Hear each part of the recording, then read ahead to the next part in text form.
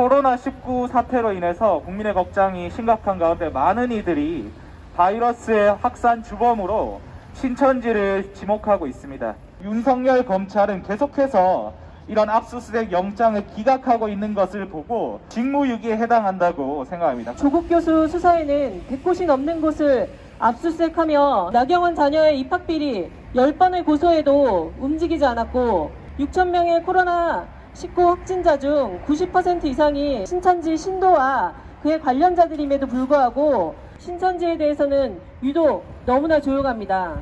최근 코로나19와 관련한 고발 건들이 산재해 있음에도 불구하고 피고발인 윤석열은 정당한 사유 없이 고의적으로 이에 대한 수사를 진척을 보이지 않고 있습니다.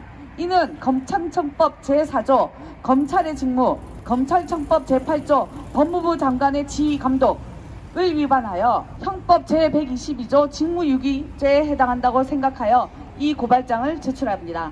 고발인 김은진 직무유기 윤석열을 규탄한다. 신천지 강제수사 착수하라.